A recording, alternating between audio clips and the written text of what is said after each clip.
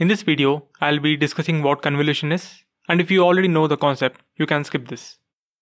Let me start with the simplest case of 1D convolution. What is 1D convolution? In this case, your input will be a one-dimensional array. And even among uh, 1D convolution, I'll be taking the simplest possible case and explaining. In this case, it just boils down to multiplication with a, with a number. What do I mean by that? This is my input vector and I'll just multiply this vector by a number. And if I do the multiplication, I'll get 9 times 6 which is nothing but 54.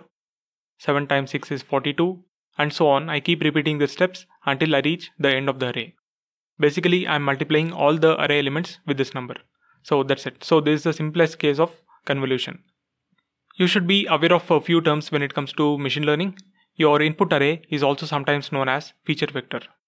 And the number with which you are multiplying is also known as filter or sometimes it's also known as weights. And your output uh, array is also known as the feature map. One more thing to note that your input is of size 12, your filter is of size 1 and your output array is also of size 12.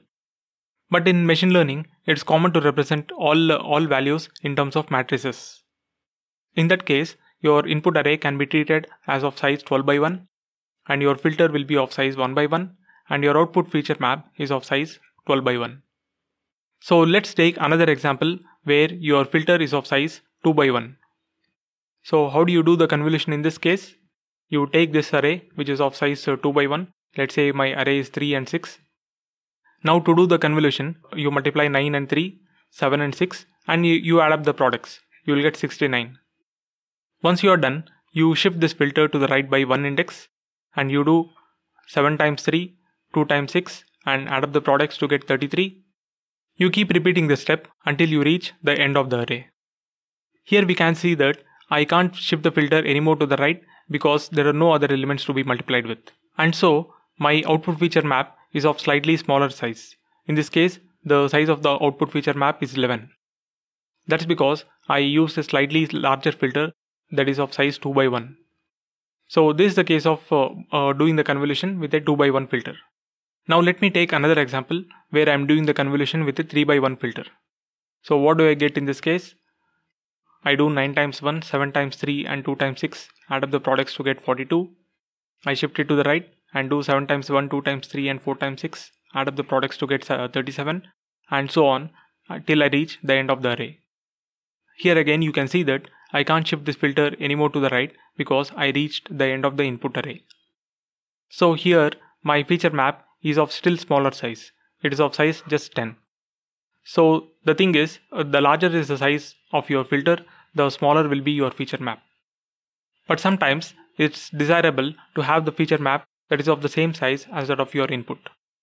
How do you achieve that? You can do what is known as padding. That is, you add 0 to the beginning and the end of the array. And if you do the convolution for the edges, that is, you take 1, 3 and 6, you do the convolution here 0 times 6, 4 times 3, 8 times 1, add it up to get 20. And on this side, you take 1, 3 and 6, the same filter again, you do the, you repeat the convolution here 0 times 1, 9 times 3 and 7 times 6 and add it up to get 69. So now you got back a feature map that is of size 12 which is nothing but the same size as that of your input. So this way you can uh, you can control what will be the size of your feature map. Until now in all the examples that I have taken I have always shifted the filter to the right by just one index. But this is not always necessary. You can shift it right by any number. It can be 1, 2, 3, 6, 7, etc. Now let me show you an example where I am shifting the filter to the right by 3 units. So in this case, I again repeat the convolution 9 times 1, 7 times 3, 2 times 6, add it up to get 42. And this time I shift the filter to the right by 3 units and multiply with the respective elements. This will be 4 times 1, 8 times 3 and 7 times 6, add it up to get 70 next you will get 36 and finally 57 so here in this case my output feature map is of size just 4 by 1 and if you want to know if you want to predict uh, beforehand what will be the size of your output feature map you can use this formula in this case w will be the uh, will be the size of your input in my example it is 12 and f is the size of your filter here it is 3 and p is the amount of padding. In this case padding is 0. And uh, here in this example I padded to the left and right by just 1 0 that is my padding is just 1. Though uh, in though in total I have used two zeros here I only consider how much padding I have done on only one side. Here in this case it's just 1. And S stands for the amount of stride. In this example the stride was 1 and in this one the stride was 3.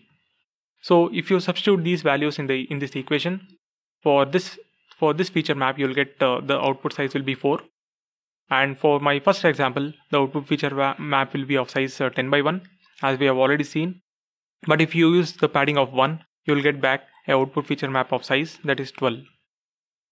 The same thing can be verified here. So this in summary is how you do 1D convolution with filters of different size and you can also choose how much padding you want to do and how what is the stride that you want to shift.